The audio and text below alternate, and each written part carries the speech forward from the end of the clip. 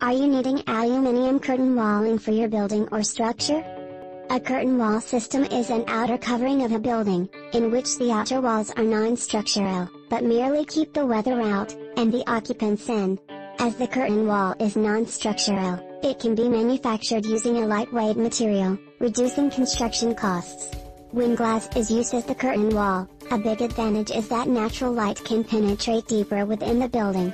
The curtain wall facade does not carry any dead load weight from the building, other than its own dead load weight.